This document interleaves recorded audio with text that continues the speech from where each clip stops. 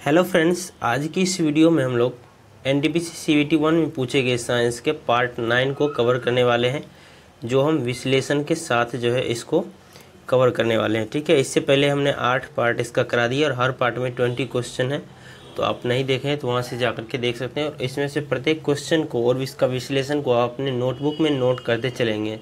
साथ साथ में इससे क्या होगा कि आपको ज़्यादातर याद होगा, ठीक है? रटने के बजाय आप लिखेंगे तो ज़्यादा जल्दी जो आपको चीज़ें याद हो जाएगी। ठीक है, और दूसरी बात बताना चाहूँगा कि यदि आप N C R T nine plus ten का साइंस का हैंडी टेन नोट्स लेना चाहते हैं तो दिए गए इस नंबर पर व्हाट्सअप करके आप ले सकते हैं। इसका कुछ फ़ी है जो आपको डिपॉजिट करना होगा, उसके बाद आपको जो है नोट्स प्रोवाइड करा दिया जाएगा व्हाट्सएप पे।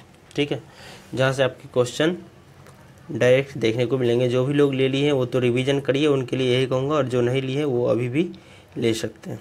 ठीक है तो आज का जो पहला क्वेश्चन है, कह रहा है कि प्रतिवर्ष बसंत के मौसम में ओजोन छिद्र किसके ऊपर निर्मित होता है? जो प्रीवियस ईयर पढ़े होंगे, बताना भाई सब 2018 ग्रुप डी में यह क्वेश्चन आया था या नहीं आया था? एग्जैक्ट यही क्वेश्चन आया था और यही क्वेश्चन आपके एनटीपीसी में भी पूछा गया है।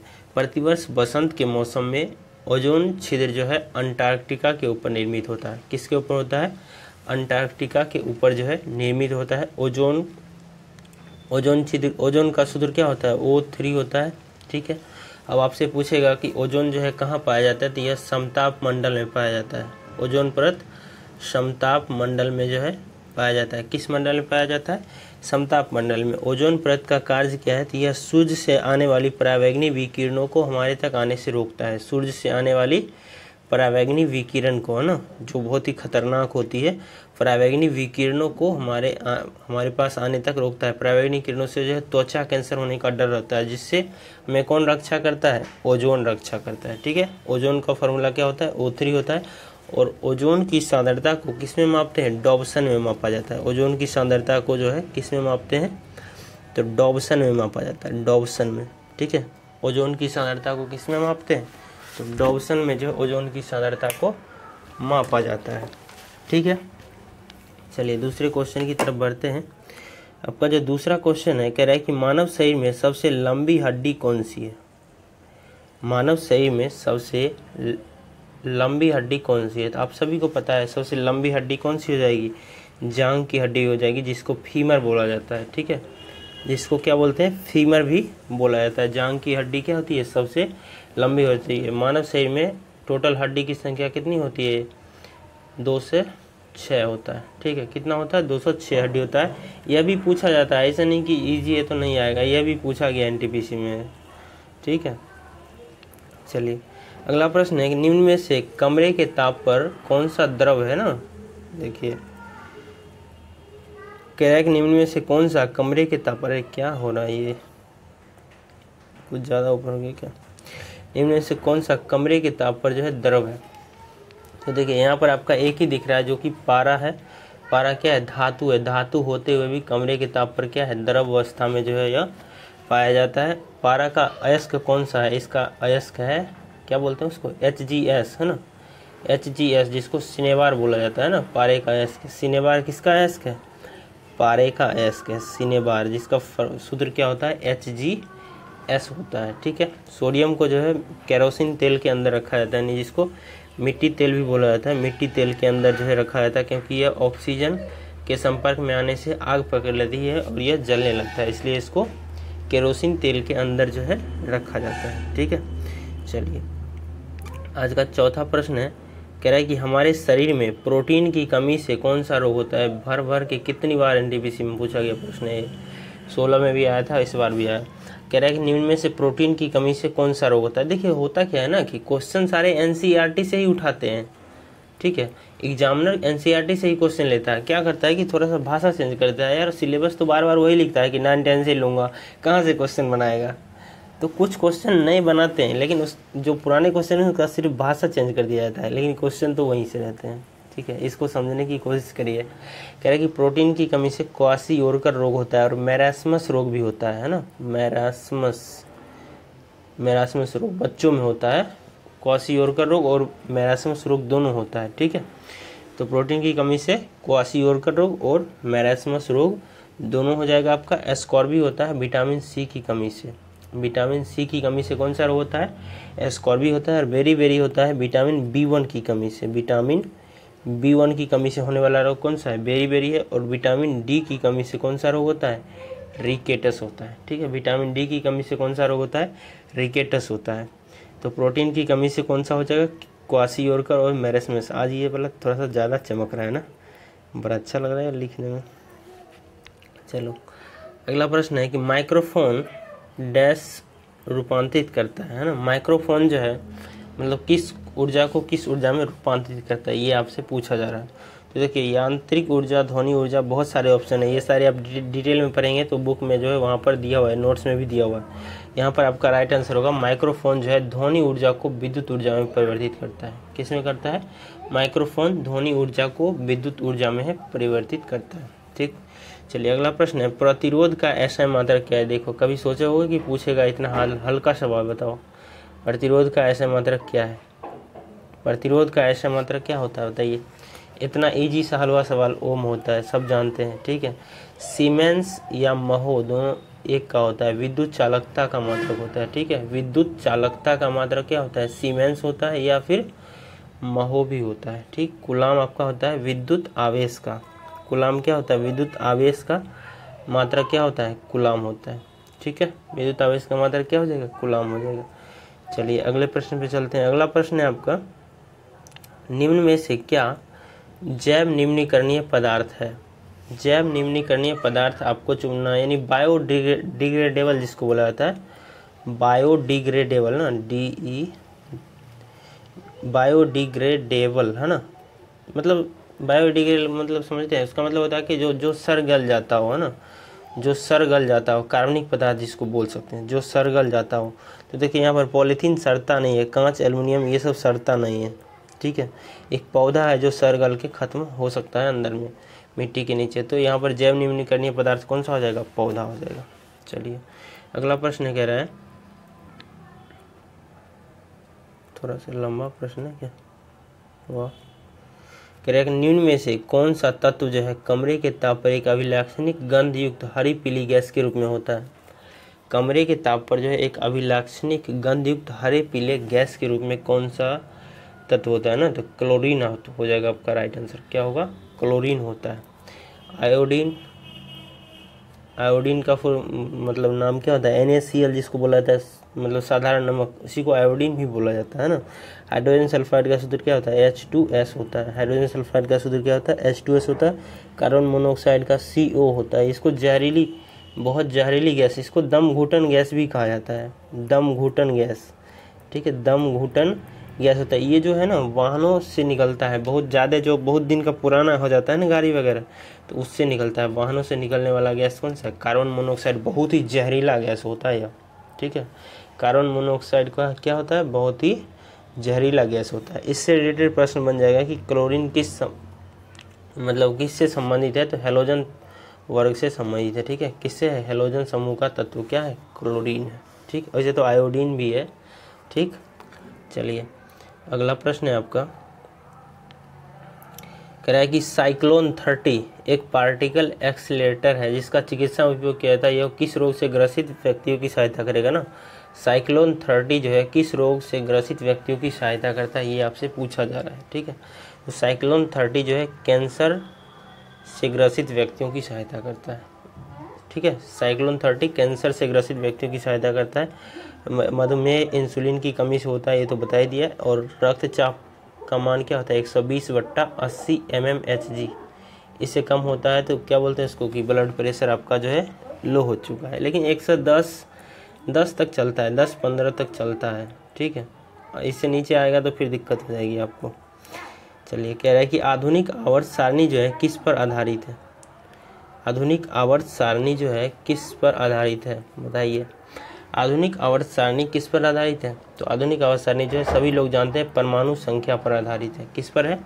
परमाणु संख्या पर आधारित है। यह किसने दिया था? 1913 में जो है, मोसले द्वारा दिया गया था। 1913 में कौन दिया था?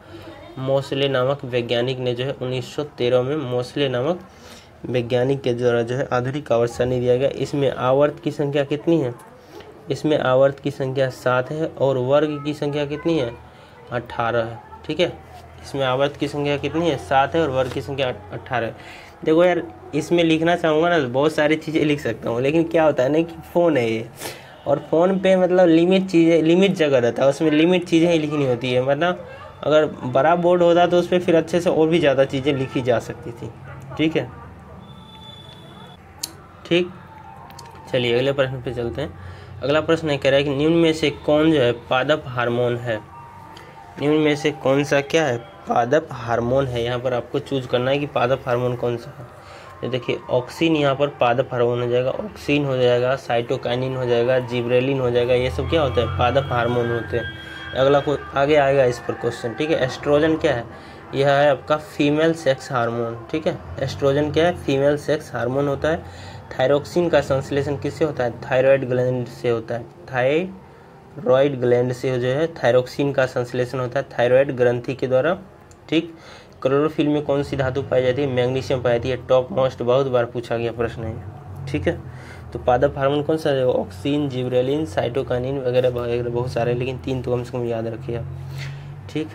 चलिए, कह रहा है अगला प्रश्न कि मानव शरीर का कौन सा अंग जो है इलियम श्रेणी खंड क्या हो रहा है इसको बार बार आज? मानव शरीर का कौन सा अंग जो है, इलियम श्रेणी खंड अरे वाह! थोड़ा नीचे ही कर लेता हूँ ना? लगता है गुस्सा में मोबाइल मेरा। मानव शरीर का कौन सा अंग जो है? इलियम श्रेणी खंड और जघन अस्थि के मेल से बनता है। कौन सा अंग? इलियम श्रेणी खंड और जघन अस्थि के मेल से बनने वाला अंग जो है आपका नितंब अस्थि है यह न्यू क्वेश्चन है। इस पर आप न्यू क्वेश्चन लिख लीजिएगा, ठीक है? मेरे को ये न्यू ही लगा। ये क्वेश्चन रिपीट होने की संभावना है कि आ सकता है, क्योंकि ये क्वेश्चन नया नया बनाया गया है, ठीक है? चलिए। अगले प्रश्न पे चलते हैं। कह रहे निम्न में से कौन सा पशु हार्मोन है? भाई, आज मोबाइल को क्या हो रहा है? निम्न में से कौन सा जो है पशु हार्मोन है? तो देखिए, यहाँ पर अभी बताया था मैंने आपको कि साइटोकाइनिन जिब्रेलिन तथा ऑक्सीन क्या है? ये सभी पादप हार्मोन है। पीछे बताया था ना अभी? पादप हार्मोन है, ठीक? एक ही बच रहा आपका इंसुलिन इंसुलिन किससे निकलता है? इंसुलिन एक पशु हार्मोन है जो अग्नाशय में, अग्नाशय में उपस्थित बीटा कोशिकाओं, बीटा सेल्स के द्वारा स्रावित होता है। ठीक है? बीटा सेल्स के द्वारा कौन सा हार्मोन स्रावित होता है? इंसुलिन हार्मोन का श्रवण होता है। ठीक है? तो पशु हार्मोन कौन सा हो जाएगा आपका? इंसुलिन हो जाएगा आपका पशु हार्मोन। और अग्नाशय के बीटा सेल से इंसुलिन का श्रवण होता है। इंसुलिन की कमी से कौन सा रोग होता है? मधुमेह रोग होता है, जिसको डायबिटीज़ भी बोला जाता है। मधुमेह रोग इसी की कमी से होता है। और ये वाला प्रश्न अगर पूछ देगा कि आपको, मैं इसका कलर चेंज कर लेता हूँ, कि इंसुलिन की अधिकता से कौन सा रोग होता है? तब बताइए, तब क्या करिएगा? इंसुलिन की अधिकता से होता है हाइपोग्लाइसीमिया ठीक है? क्या होता है? हाइपो हाइपोग्लाइसीमिया हाइपोग्लाइसीमिया रोग होता है, ये मैंने पीछे भी वीडियो तक नहीं बताया था, लेकिन आज बता दे रहा हूँ कि इंसुलिन की कमी से तो मधुमेह होता है, लेकिन जब पूछ देगा कि अधिकता से इंसुलिन जब अधिक हो जाएगा, अधिक उसका श्रवण होगा तो क्या होगा? तो हाइपोग्लाइसीमिया रोग जो है, हो जाएगा यहाँ पर, ठीक है?